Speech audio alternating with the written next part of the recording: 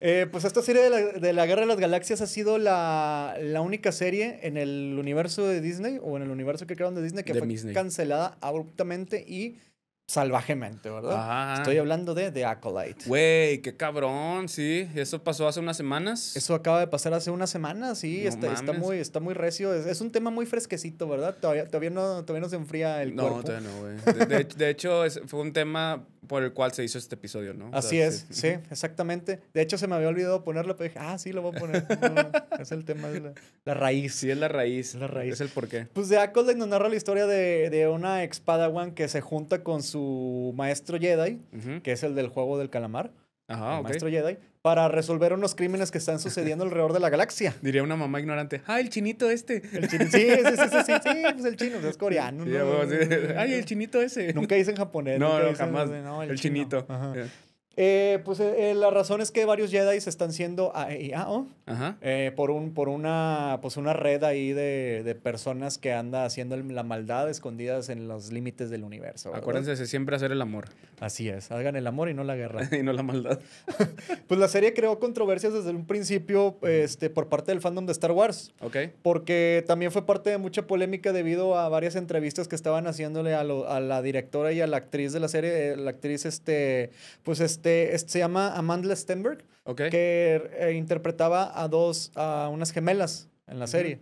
Pero empezaron a, empezaron a dar entrevistas y empezaron a decir que, que, Star, que ahora Star Wars era gay, que ahora que la serie era muy queer. Vete a la verga. Sí, güey. Y, y empezó, y empezó a decir la actriz de que para mí, para mí la gente geek es gay. Así, o sea, ¡Ah, directo. O la sea, está la entrevista grabada y todo el rollo. Neta. Ah, y y, ya- y, este, la directora también empezó a declarar de que no, sí, esta serie está hecha para, para que sea gay Star Wars y todo el pedo.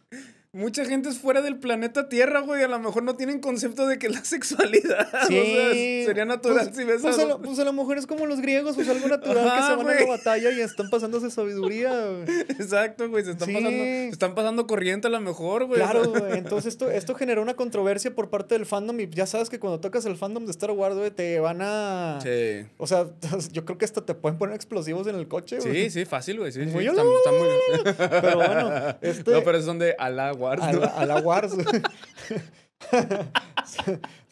Saludos a Jafet, Jafet Jinx, ¿no? Este, pues esto, esto creó pues la controversia y, y, pues empezaron a tirarle de que la serie iba a ser muy woke, ¿Ok? eh, muy, muy inclusiva, muy todo en realidad. güey. Sí, sí, sí. Eh, pues eh, esto, es, esto hizo que la apodaran de Wokolite. Pero todo, todo esto iba así. ¿Sabes o sea, cómo le apodé yo? ¿cómo? De Waka Light. De Guacalite. Pues, pues sí, pues Raúl Delasco también, ¿no? Sí, o sea, hay Ay, que apodar cosas así asquerositas. Rol del ano, güey. Raúl Delano. Y eh, esto provocó, este, pues, que, que también la serie, pues, o sea, comenzara... La serie empezó bien, la, vi los primeros capítulos y dije, va bien, ok. Pero luego de repente se, como que se empezó a salir de control porque también... O sea, yo creo que lo, lo más importante fue que la, la- o sea, la prensa y todo lo que estaban haciendo lo- lo- los actores y los direct- el productor y todo el pedo, pues hizo que se, que se derramara la pinche... el agua del vaso. No mames, güey. Porque la gota que fue, la gota que derramó el vaso, güey, fue por parte de la directora, que es esta Leslie Headland, Headland, güey. Ujú. Leslie Headland declaró que, que ella nunca había visto una película de Star Wars, güey, nunca había visto nada de Star Wars, güey. Vete a la verga, güey. No, Entonces- es que no puedes decir eso, güey. O sea, Le valió madre, le valió madre, pero, o sea, tiene un motivo, ok, pero bueno, dice, pensé que sería benefic- beneficioso tener la perspectiva de alguien que literalmente no ha visto Star Wars, güey.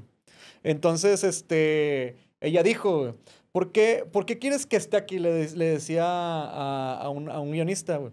Nunca he visto Star Wars, no tengo idea de lo que está pasando, pero creo que hay un personaje llamado Chewbacca, pero no sé nada más, güey.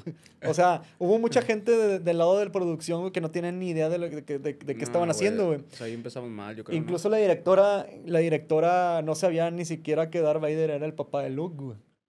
O sea, Bueno, eh, cosas... No, güey, no. Eh, perdón, pero es que eso sí no, papi. El pro- eh, o sea, No sé, güey. En un, en, un, en un punto, en un punto podría estar bien, güey, porque dices, pues son, son ideas frescas nuevas que podrían incluirse en el pero también darle una estudiadita a lo que está pasando, o sea, no llegar directo, o sea, ya cuando vas a grabar a, tres días de grabar vas a decir, oye, ay, no acordaba que no he visto nada de Star Wars, ¿qué, ¿Qué es esto, no? Una espada láser, ¿no? ¿Y cómo se juega con eso? Aquí, aquí sí.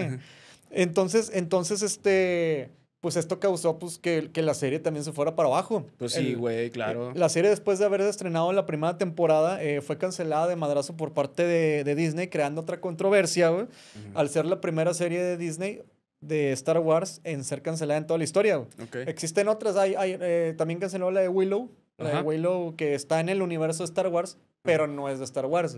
Ay, eso es bien Willow, ¿no? Willow. es que había una película de Willow, o sea, ¿te acuerdas de, Willow? el, el, el, actor que le hacía del, del Ewok. Ajá, sí, sí. No me acuerdo cómo se llama. Pero este, esto causó que también, esto causó también que de repente desaparecieran los artículos, o sea, los juguetes y todo ese rollo de The Acolyte. o sea, ya no aparecen en las tiendas de Disney, ya no aparecen en, o sea, en las oficiales. En Amazon probablemente sí. Sí, claro, sí, Mercado Libre. Sí. Pero en Disney desaparecieron todo y incluso están diciendo que van a desaparecer, la van a enlatar la serie, porque también lo que dices, lo de, lo de, lo de los programas en, eh, que no triunfan o que son cancelados, de repente los quitan porque les cuesta también a Netflix.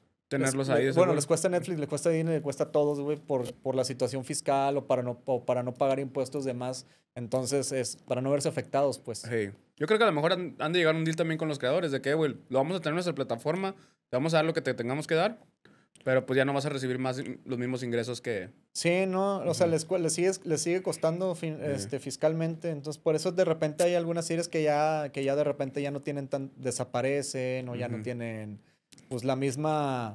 ¿Cómo se dice? El mismo algoritmo ya no te los pone, cosas así. Y eso es lo que probablemente le suceda a The Acolyte ya no va a haber otra temporada, se acabó. Y pues, si quieren spoiler, al final sale Yoda, ¿verdad? Ahí de que iba a salir Yoda. la verdad que yo, ¡puta madre!